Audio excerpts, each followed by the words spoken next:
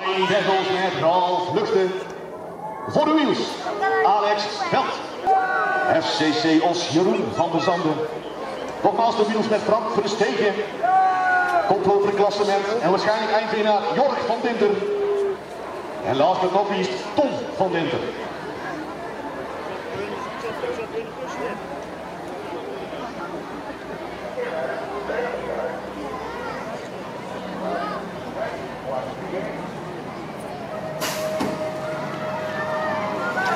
Ja, dus ready, watch the gate. Tom van Dinter is vertrokken met een nummer afslaat. Gaat hier als is, is hij dubbel.